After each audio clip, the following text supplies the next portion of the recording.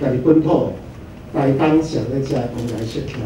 凤梨世家盛产期在每年的十二月到三月，颗颗硕大饱满，甜度破表，并且含钾离子及镁、维生素 B 和维生素 C。好吃的台东凤梨世家九成九都是外销，想吃还不一定买得到。但今年受到全球疫情影响，外销通路全封闭。台东县长饶庆林要帮世家农找出路，专程北上，联手市长侯友谊告诉大家：金马甲熊丢席。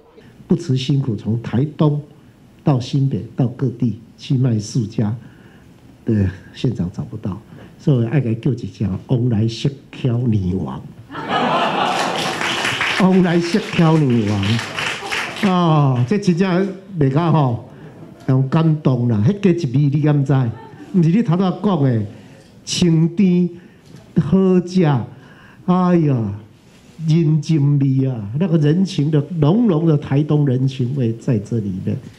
侯友谊称赞饶庆林用心，特别给了一个称号“凤梨世家女皇”。因着饶庆林带着农民朋友全台跑透透，推销凤梨世家，这来自台东的好味道，真的是用心。而他要当团购王，市民朋友透过电商购买，加一元多一箱，或是到新北农会直接采买。好，我们已经诶五千斤了哈，那我们再加码，让市长加码。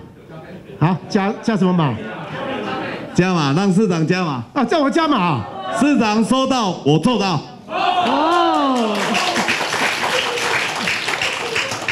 领导财产偌济，拢摕出来没有？嗯啊，有没有一次把人家吓跑了啦？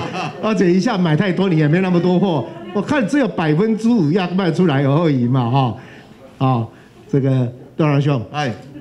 你们国泰公司比较内行啊，不要给他太痛苦的回家，还可以欣然开心的回家。你们觉得加多少比较适当一点啊？加一倍啊！加一倍没问题了，加一倍没问题啊。咱加五千斤会使未？没问题。啊，到一万啦。OK。啊，千金万金不如打来好好食，OK，一万斤。没问题。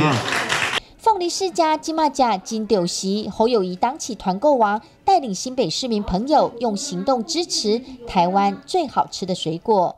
记者林丽如、赵世渊新北报道。